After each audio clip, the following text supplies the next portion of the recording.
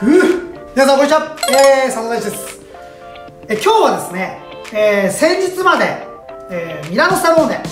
えミラノの方に出張に行ってきました。ミラノに入ってですね、えー、そこからミラノサローネを約4日間ミラノの街を見てですね、えー、その後フィレンツェにユーロスターで移動してですねフィレンツェの街を見てそれで帰ってきたわけですね、えー、皆さんですね僕がミラノのですねミラノサローネの旅行のですね動画をご覧になっていただけていると思うんですけどもミラノのですねイタリアのファッション事情ってえどんな感じなのかってことですよね、えー、皆さんにちょっと簡単にお話したいなと思います。イタリアといったら皆さんどんなイメージをお持ちですかね。うん。なんといっても一番分かりやすいのはですね雑誌「レオン」のようなちょい悪のやつですね。ジブリーラもですよね。あのちょっとこうシャツをですねこう胸を開けて胸毛がプッですね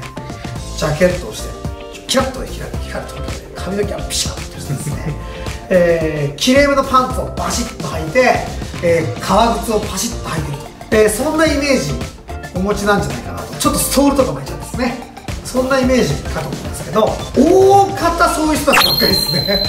えー、意外とストリートの人がいたりアメカジの人がいたりブリティッシュの人がいたりとかって一見思うかもしれないんですけどやっぱりイタリア人ってやっぱりですねその美意識みたいなのがやっぱ高くて多いんですよねああいうパシッとこう紳士でありながらこう綺麗であろう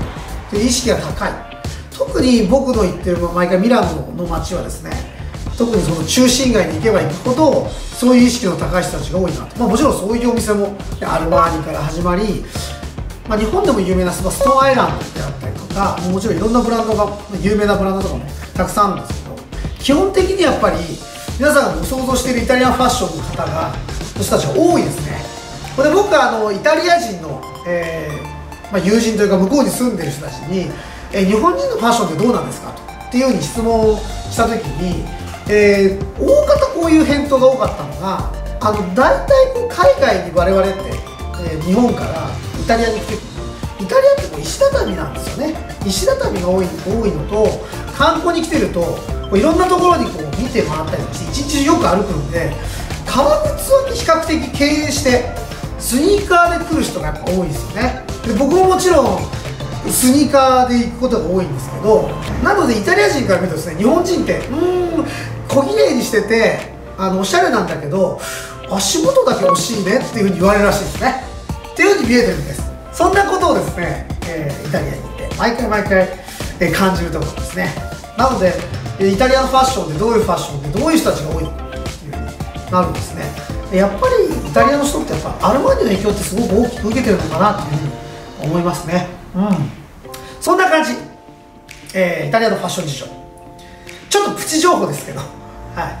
え、そんな感じです。ねそれではまた。ありがとうございます。チャンネル登録の方お願いいたします。コメント欄の方にですね。ぜひコメントもいていただければモチベーションになりますので皆さんのお声をお待ちしております。ぜひ答えていきたいと思ってます。それではまた。